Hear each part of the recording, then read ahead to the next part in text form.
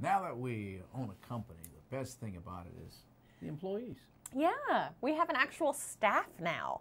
And we, I mean, we have the best staff in the entire world. We love them so much and we're so impressed with their talent and just the friendship that we have with them too. Yeah, the great thing about it is how they respect us. Yeah. The uh, love and admiration that we get, it's almost embarrassing every day. Yeah. Sometimes we're like, guys, please.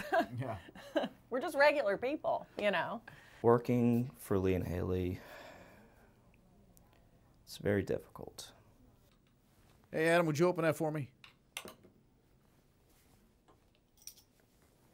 Thanks. Yeah, that sounds good. I like that idea, Bridget. That shirt you're wearing is trash. Just FYI. So, uh, did you get Freaking dress code here. Yeah, what's the name of the company? uh, it's Gender Um, yeah, this isn't at all what I thought it was going to be. Hey, Lee, can you take a look at these scripts real quick? I'm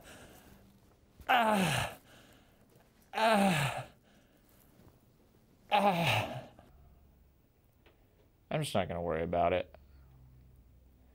I always wanted to be a pilot when I grow up, so I feel like I've still got a little bit of time left.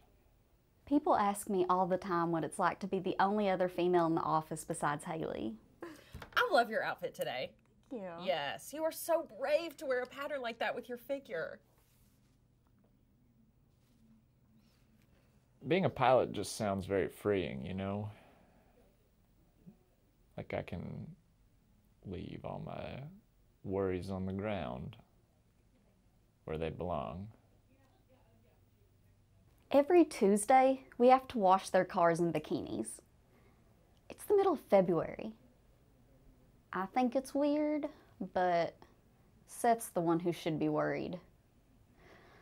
They really like seeing him in a bikini. Yeah, nice day out. Yeah. A little chilly. Little chilly? okay. Good job, um, guys. Keep it yeah. up. Thank you guys so much. Bridget, get out of the way. I'm trying to look at Seth. Honestly, she'll never learn.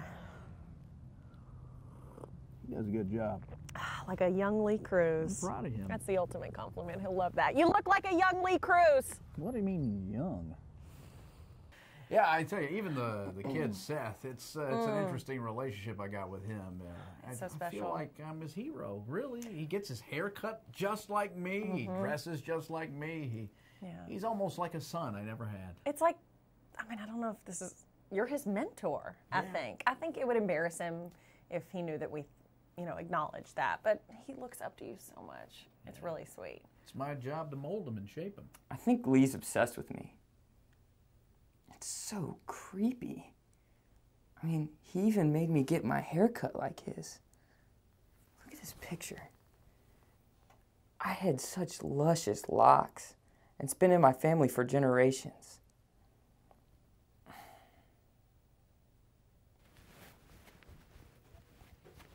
Look, we match. That's great. That's a good looking color on you. My goodness. Hey, Noah, take our picture. What a coincidence. Look at here. So proud of you. He specifically told me to wear this today. He keeps telling me I'd look good in blue. Did Bridget tell you about the bikini car wash?